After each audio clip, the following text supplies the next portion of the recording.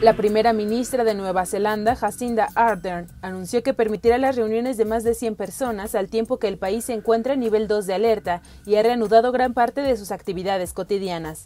Explicó este tipo de reuniones se permitirán debido a los días consecutivos sin contagios que reporta el archipiélago, junto con las pocas bajas generadas por el nuevo tipo de neumonía provocada por el coronavirus. Por otra parte, Nueva Zelanda anunció que dará un nuevo apoyo a desempleados que perdieron su trabajo debido a la emergencia sanitaria. Al corte del día de hoy, las autoridades de Nueva Zelanda reportaron que no hubo nuevos casos de coronavirus ni muertes asociadas con la nueva cepa viral. Añadieron que de los infectados solo uno permanece hospitalizado. Ardern abundó que el mismo día en que se darán los apoyos gubernamentales también se considerará la opción de pasar a nivel de alerta 1, el más bajo que se pueda contar en medio de una crisis sanitaria.